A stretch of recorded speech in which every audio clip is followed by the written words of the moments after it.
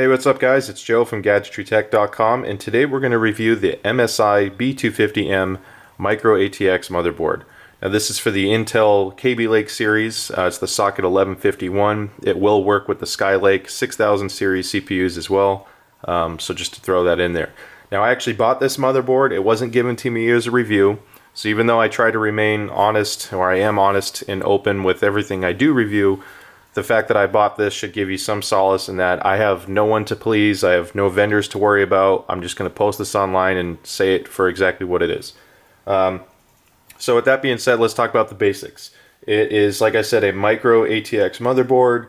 It comes with a three-year warranty. Right now it's selling for $90 in US dollars as of the first week of February, and that's on Newegg and Amazon.com. So pretty much the same price. Um, now there's two versions of this. I bought the cheaper one. This is the B250M or B250M, whereas the more expensive one is the Z uh, um, 270M. Now the 270 series is better for overclocking, so if you're planning on upgrading the RAM, um, you know, going with an overclockable CPU, etc., then that's something you want to look at instead. Everything else I cover will be the same among both boards but the Z270 series is better for your higher performance RAM, uh, CPUs, and even graphics cards if you want to just say you have the best chipset for that. So, reason why I bought the B250 is I am not building a high-end gaming computer. I wanted really good features on the motherboard because motherboard quality is important, but I am using this in a home theater PC setup. So, with that being said, let's open this guy up and I'll show you why I selected this guy. Um, and you know, before there aren't a lot of close-ups of the boxes online. So here's the box. I'm going to turn this thing around. Let's go here. So that's what the box looks like. So, opening it up. Now I did open up this box already just to look at the manual so I can speak to this better.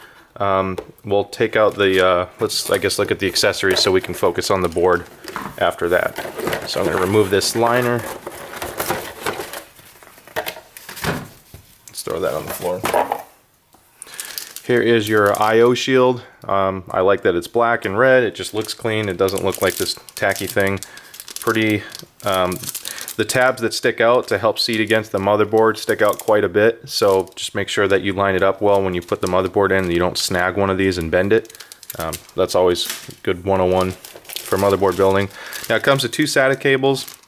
One is straight and one has the 90 degree angle. So um, it's kind of nice. I mean, they won't match perfectly, but in different motherboard configurations or depending on your case, I think that comes in handy. So I would prefer to have uh, one of each if I only had two anyway. Thank you for choosing MSI. Please register and let's cover up the serial. Driver disc. I really am looking forward to the day where this is no longer in the box and you get a really cheap USB stick to have your drivers because not a lot of new computers have CDs anymore. So good news is you can download everything online.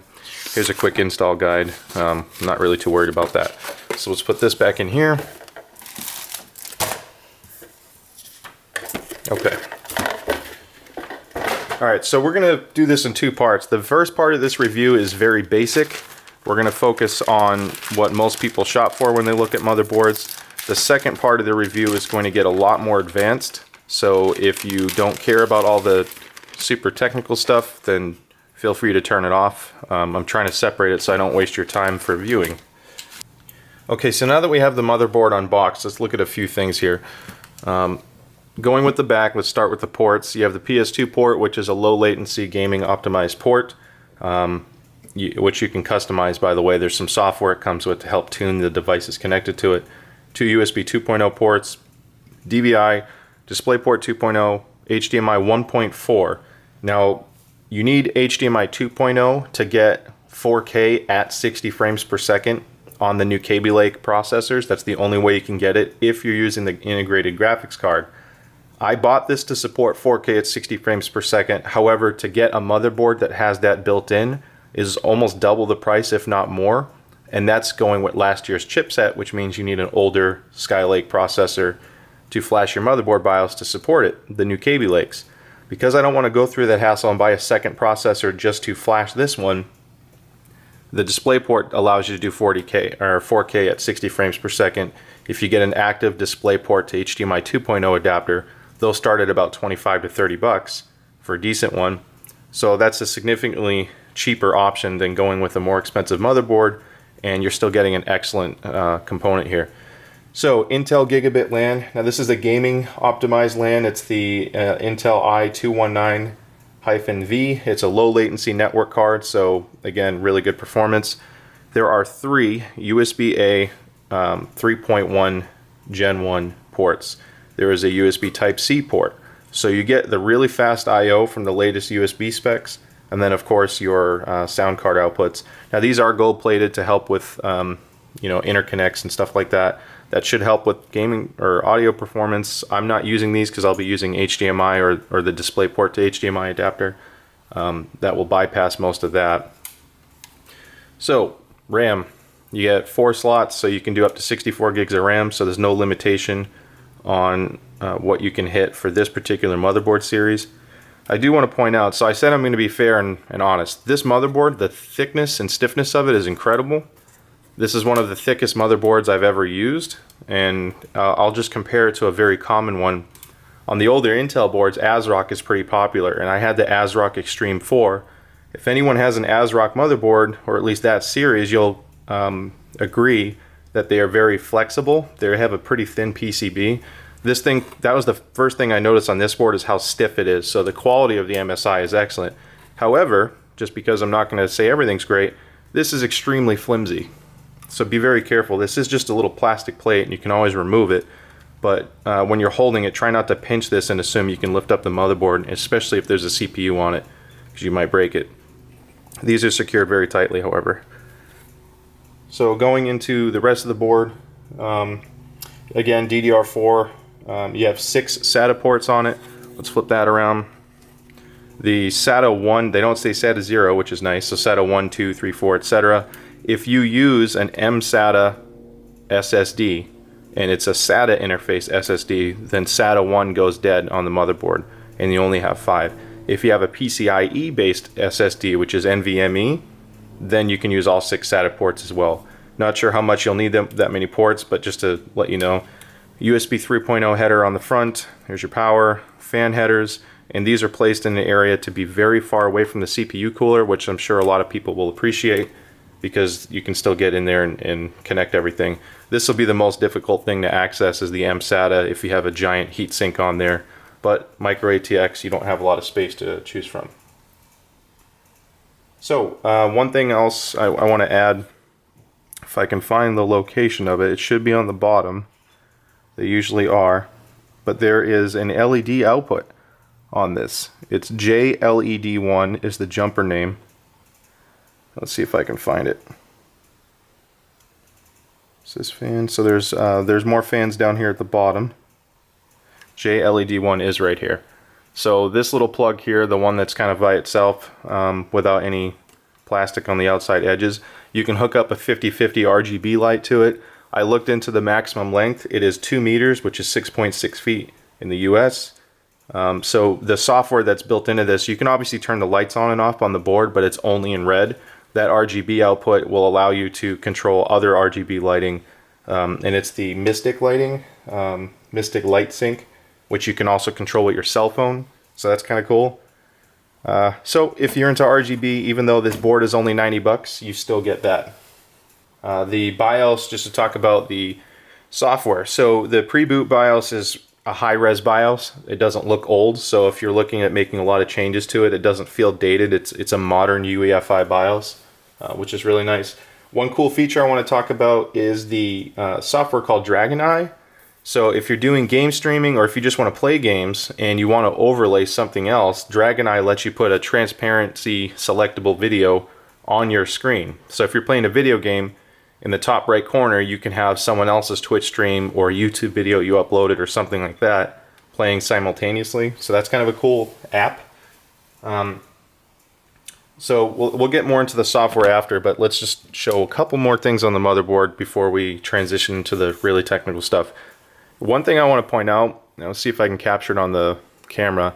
These screw holes right here for the motherboard standoff, um, if you notice there's a few extra dots, that helps a ton with electrostatic discharge or ESD. That gives you a really solid ground connection to the chassis through those screws. Now, again, I'm not nitpicking on ASRock. They make great boards as well, certain models at least. But my ASRock Extreme 4 had only a few dots on each circle. It was built much more cheaply than this. And MSI does talk about that on their site as a, a focus point because they wanted to give you the highest quality um, electronic control. So if you look at electronic principles, everything on this board is designed to minimize um, electromagnetic interference or EMI. That's why you see the metal plating here.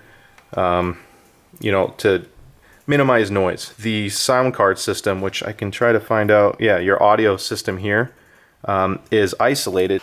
Um, they separate the audio components as well so there's less noise and hum. There's no pop when you plug in your headphones. You have gold caps to help uh, give you that nice warm sound.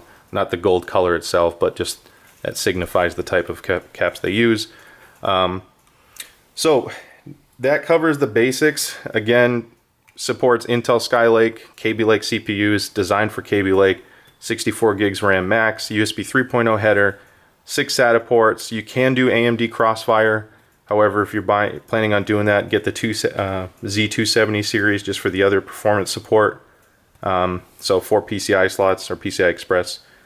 Uh, covered the I.O. You have your power input here at the top, uh, 8 pin, which is good if you want to overclock as well. Uh, and that's about it. That covers the motherboard. So let's dive into the technical stuff. So tune off. If you don't care about this, we're going to focus on kind of boring things here. The fan outputs. I talked about how it has a CPU fan here, and you notice how far it is from the CPU. Again, the CPU fan being in the top right is kind of nice because it's going to allow you to put a giant heatsink on if you're doing air cooling and then still be able to access the wire. I'm going to put this down and we'll see if we uh, if zoom is better or you know we'll just move the hand around. So let's zoom in a little bit here. Okay.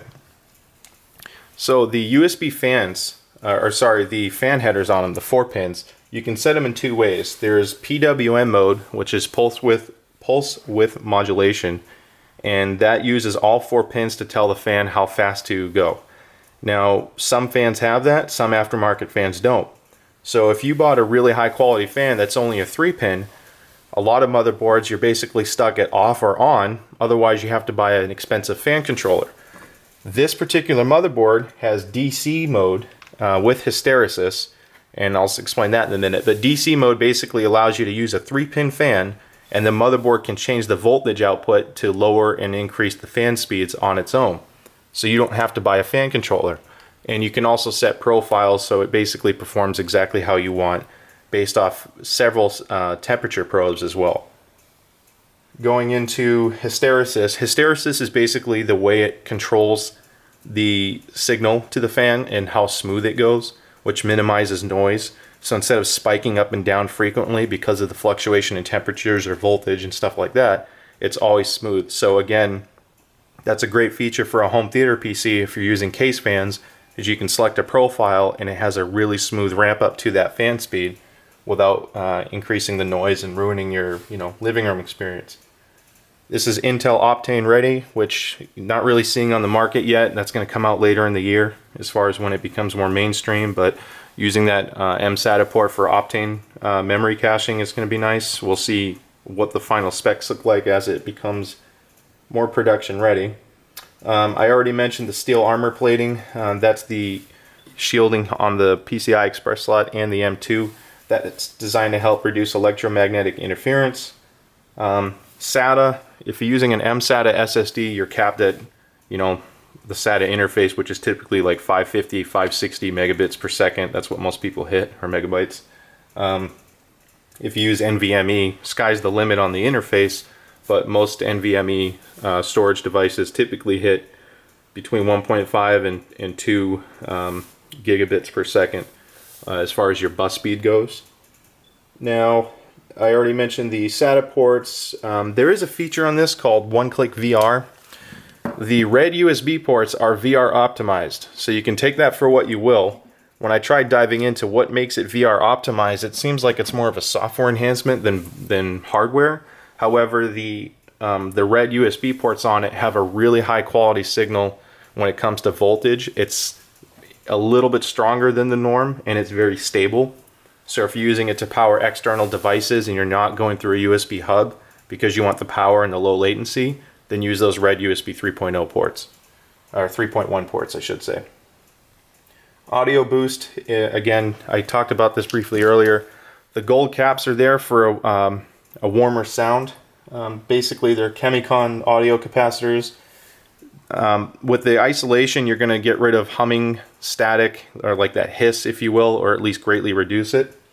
Um, that kind of helps. You know, it's not perfect because it's still an analog signal, but basically they took a Realtek ALC 890, let's see, 892 uh, sound card or audio chip, and they enhanced it with MSI specific features, which is nice because it keeps the cost down. They own the rights to how that works. Now, if you're using HDMI or DisplayPort 2.0, you're not going to take any advantage of any of this analog audio processing that's happening or any of these ports. So take it for what you will. It, I guess it's good for a headset for occasional gaming. But again, home theater PC, I'm using the DisplayPort um, to HDMI to get the 60 frame 4K. So none of this matters.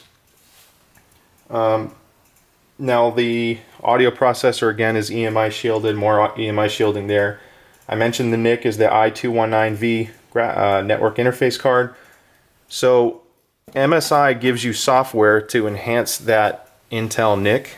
Um, and basically think of it as a host-based quality of service. If you don't know what quality of service is, it's basically traffic shaping and prioritizing. So if you're doing a game stream that requires 2000 kilobits per second upload speed and your bandwidth is only 2.5, it's not going to let um, you know a one megabit per second stream you know, if you're downloading something on a torrent or whatever, affect your game speed. You can prioritize your traffic so you have 2,000 kilobits per second guaranteed to your stream, and everything else can fight for the rest, whether it be Skype, XSplit, um, Twitch, whatever it may be. So that's kind of a nice feature because it takes it off a router, and if you don't have expensive network uh, networking equipment, it's a cheap way to support that. Um, the Memory overclocking. So here's what's kind of odd. When you go to the website and you look at the B250M uh, mortar series uh, website um, on MSI, it talks about overclocking RAM. Now this motherboard specifically states you cannot overclock RAM. So I don't know why the website says that. I just want to debunk it now, regardless of what it suggests online. The mother, the manual and this chipset does not support overclocking. So don't buy this board to overclock memory. Get the Z270 edition instead. Um, going into RAM, or sorry, the uh, troubleshooting. If we look at the board here, there is one little, I'm to try to get it to focus. Um, let's see if I can get it just right. Okay, Easy Debug LED down here at the bottom. These tiny ass LEDs right here are your easy debug, quote unquote. There are other manufacturers that do a better job with this. They're much larger and easier to see. They're more clearly labeled. I don't need a microscope to find out what each LED is, so I can try to zoom in even more. There we go. So those are the debug LEDs. Now if you have cables going here, it's going to make it even harder to troubleshoot. So you may want to stick to on-screen troubleshooting or hook up the PC speaker if you want to go by beep codes. So, but that is where it's located. It's at the top, so plan your wire management accordingly. The motherboard has a thing called overvoltage protection, which most high-end motherboards do. Um, the fact that it has it for under 100 bucks is nice. That's just going to make sure that your components last a longer time. Um, I have an mSATA card that was shorting out and because of that it fried two motherboards on two different laptops which you know I can fix it. But if I had over voltage protection from that short it would have kept my system intact and I could have replaced it. So even though it's kind of a small feature it could come in handy if you ever bought a defective part.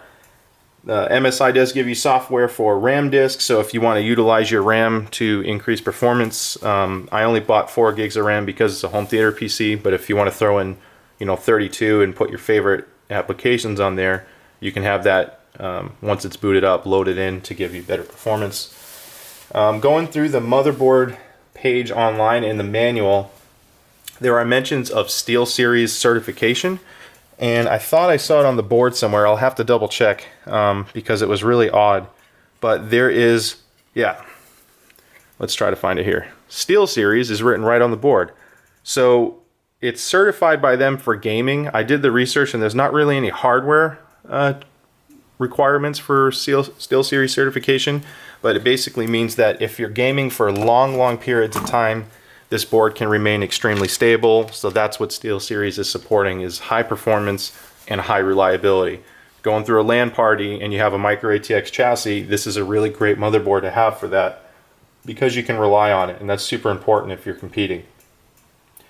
Going by the whole branding thing, it says uh, you know that it has steel armor and military class 5 and etc. And all that means is the quality of components they use is not garbage.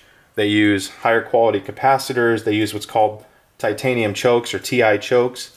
That's your power phase right up here, which as you can tell there's six power phases.